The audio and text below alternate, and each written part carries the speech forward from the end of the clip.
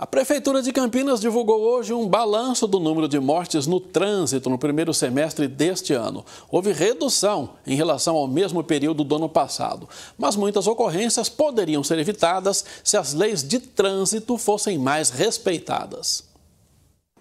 Tem gente fazendo certinho, pedestre atravessando na faixa. Porque senão pode acontecer algum acidente, então é melhor garantir o que é o correto, né? Fazer o certo. Fazer o certo. Motoristas aguardando o sinal e dentro da velocidade permitida. Com isso, cinco vidas foram poupadas no trânsito de Campinas no primeiro semestre de 2023. O número parece pequeno, mas é comemorado. Quando você vê um depoimento de uma mãe que perdeu o filho de 18 anos, você vê que cinco vidas são muitas vidas, né? Então, é, é, um número alto, é uma redução significativa e o trabalho de, de redução de acidentes e também de óbitos é um trabalho a longo prazo. Neste ano, a cidade registrou em vias públicas 33 mortes no trânsito, uma queda de 13% em relação ao mesmo período do ano passado.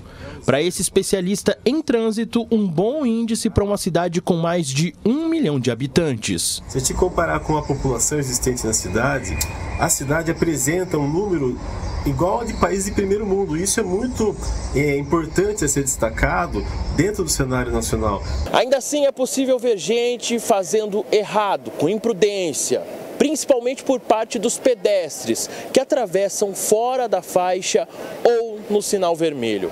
E são justamente eles, os pedestres, as maiores vítimas fatais dos acidentes de trânsito nas ruas e avenidas de Campinas em 2023. Quase 40% das mortes são de pessoas que circulavam nas vias sem o uso de veículos. 33% eram motociclistas ou garupas. 18% ocupavam outros veículos e 9% eram ciclistas. Eu gosto muito de falar quanto vale uma vida. Às vezes a pessoa é, com pressa atravessa né, no semáforo aberto para veículo e para pedestre vermelho e, por questão ali de, de, de às vezes esperar um minuto, né? Isso pode custar uma vida. Por isso, a empresa responsável pelo trânsito em Campinas faz ações e medidas para diminuir ainda mais o número de mortes em acidentes na cidade.